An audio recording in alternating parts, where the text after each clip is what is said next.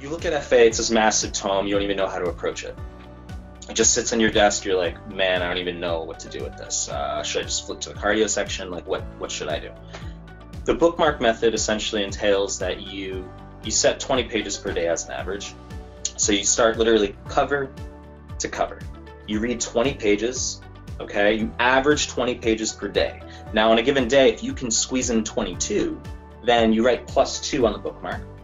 The following day, if you can manage 24, you write plus four, and that averages that that totals plus six. And then let's say the following day you're so busy, or it's a really dense chapter, and maybe you're going through biochem, trying to memorize all the like the glycolytic pathways and stuff, and you can only get through 14. That's okay because the average that's minus six, and so the average is for those three days you still came out to 20 per day.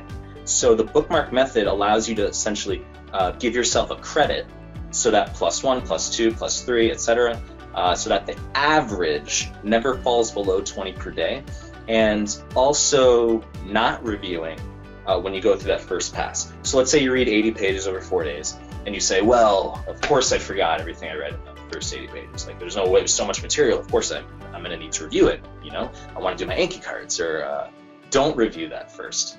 Don't review the first pass as you move through. You like you literally have to go cover to cover um, and you have to have a certain level of acceptance that you're going to forget things. That's the only way to get around the breadth of the material for the step one.